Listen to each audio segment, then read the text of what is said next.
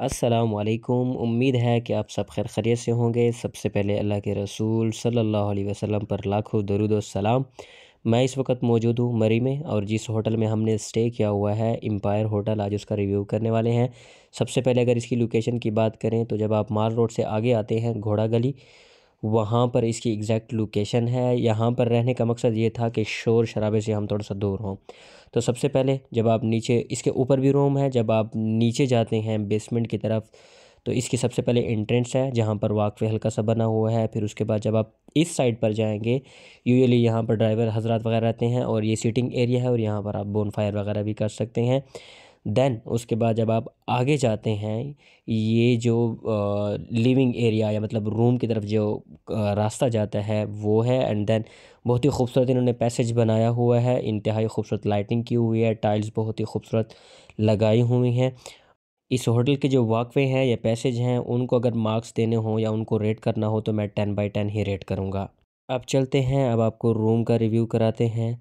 सबसे पहले अगर रूम की बात की जाए तो इनका जो लिविंग स्टाइल है वो बिल्कुल एवरेज है। और यहाँ पर देखा जाए तो यहीं एक आम सी टीवी है और उसके अलावा आपको सिंगल बेड भी मिलेगा डबल बेड भी मिलेगा प्लस एक बिल्कुल कॉमन सा वाशरूम है।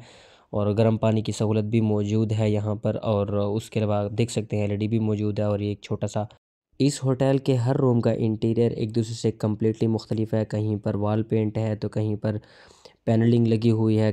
किसी रूम में एलईडी की सहूलत मौजूद है तो किसी रूम में बिल्कुल आम सा पुराने ज़माने का टीवी मौजूद है और बाथरूम का जो इंटीरियर है, वो भी कम्प्लीटली डिफरेंट है। उस बाथरूम में जो है वो येलोइश कलर की टाइल्स लगी हुई थी और यहाँ पर ग्रीन लगी हुई हैं और ये जो स्विच वगैरह लगे हुए हैं इलेक्ट्रिसिटी के, ये कम्प्लीटली ओल्ड स्टाइल है।